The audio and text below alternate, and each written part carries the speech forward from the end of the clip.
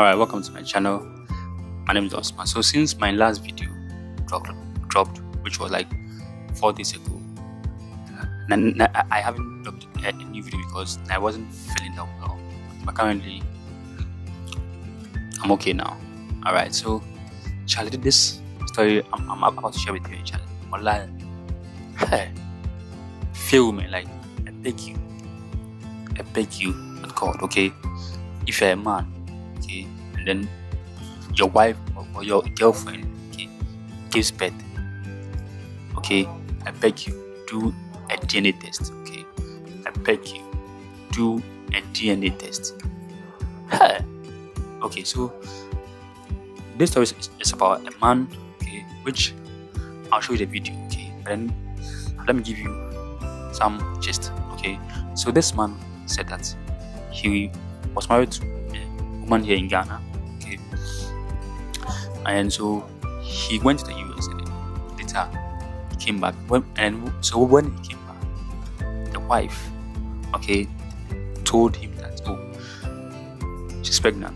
So as the husband, he just said okay, okay, ah, now the woman gives birth, okay, and then the, the, the child is even like 15 years, so it means that they be like like let's say like 70 years or so. Okay. Ah, so the, the man said that oh, the woman brought an idea that oh, like they should send the kid to the US. Okay, and then so the man said he agreed because back then he was down financially, so he didn't say anything. And so drove the child whom he thought was his, and then the wife to the airport where they were having fun, having learned things. Okay, and so the wife, wife, and then the kid whom he thought was his, they, left to the US. Okay, so, ah, said ah, he was there like about a month later. The mother of his wife, is his mother-in-law, called him. Was like, your wife is not coming to Ghana. Yes, and that is she's married to the man who impregnated her. Like really, whoa, like so means that the the, the wife and the mother knew that the child whom the, the man thought was his wasn't his, and the wife was having was still chatting with her with her ex, even though she's married to a man. Really, Alright, so let's watch that video, okay? Because I don't want to talk that much, okay? Let's watch that video and and then the, the, the, the video I'll show to you was a video from Joy FM. It was a show which they hosted.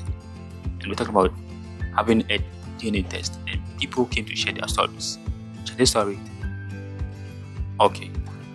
Alright, so before we go, okay, you know that there's this saying that what I am because we are Ubuntu. Yes. Now my goal by the end of this is to get 1000 subscribers. Okay. So if you're watching this video, okay, kindly like for me, comment, and most important, subscribe for me. Yes. I can't do it alone. So let's go with that video. Come back and then we'll talk about it. And uh, Mama D, how are you doing too? Oh, I'm good, Edward. You're doing well at um, uh, how do you say defending the ladies. Kojo, Yeah. this is one of the worst experience a man could have on earth. Hmm. You've got to experience it before you can discuss it. Listen, some of us would advocate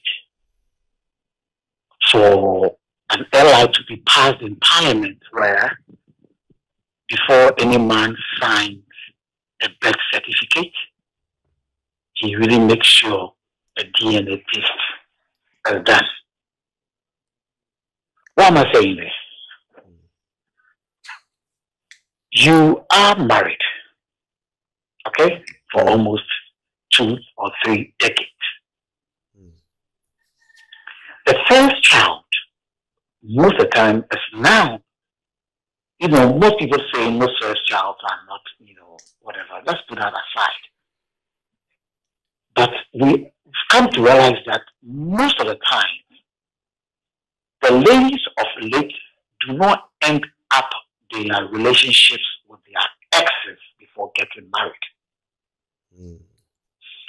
You see them married, but still having affair with their exes. And most of the times, their first child happen to be the children of their exes. Hmm. Like Austin was saying, it gets to a point the man feels or realizes that his child is not mine based on some one or two signs. But we try to live in denial Hmm. to think, you know, the, the, the, disgrace or the embarrassment that comes with it. So let me just accept it. Edward, is this what happened to you? Has this happened to you? I'm speaking from experience. Can you tell us what happened? I was married, traveled to the US, came back. Few months later, the woman said she was pregnant. And I thought that was mine. Because that was my legally married woman. Hmm. Okay. 15 years down the line, 15, one five years down the line, I got to realize that that child wasn't my biological child. Wow. How did you realize? Interestingly, the gentleman in question has won a visa lottery to the US, hmm has relocated from Ghana to the US, mm-hmm. and was in constant communication with my spouse without my knowledge. To the extent of he, the man remitting, the man knows very well that the child was his. So when he got his documentations and everything in the US, he decided to file for his daughter, which apparently I thought was mine. Now the lady found out and you know came up with a strategy to tell me, oh, don't you think it would be better for us to go to the US where the girl will get a better life and all those things? I was financially down to by then. So who was I to say no? I drove them to the airport. I mean, there was nothing. There was nothing. We went to the airport, had lunch and everything, thinking my wife was going to the US and back.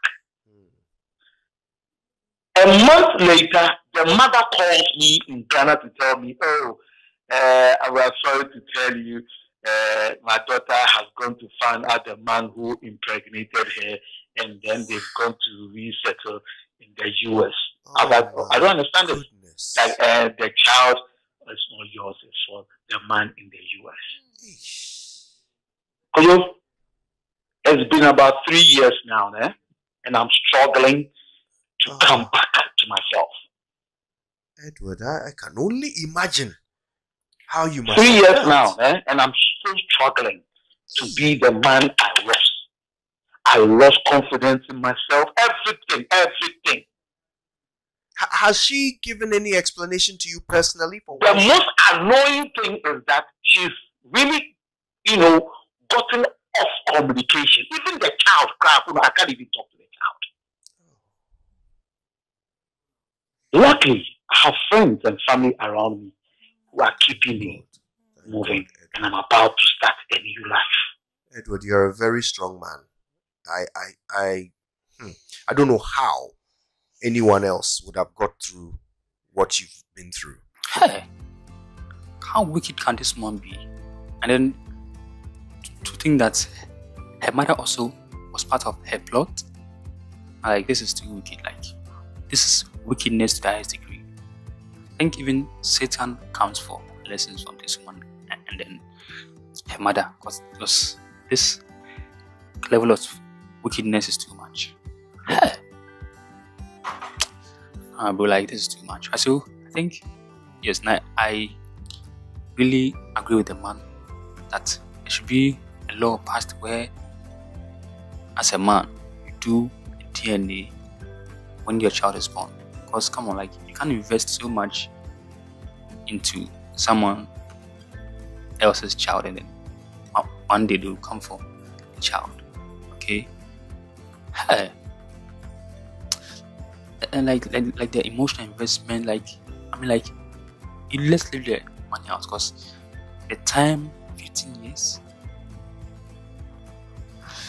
Alright, so let me make this one. Okay. One. Just get this clear now. Okay. One.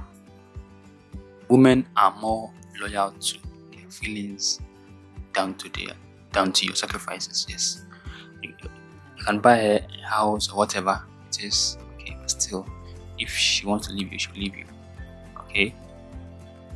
Two, women do not love men. Yes, you can argue with your phone. Okay. If you don't agree with me, refer to rule number one or my or my first statement. Too much wickedness in women, and I think this explains why women do not like women because know how wicked they can be or how wicked they are. Bro.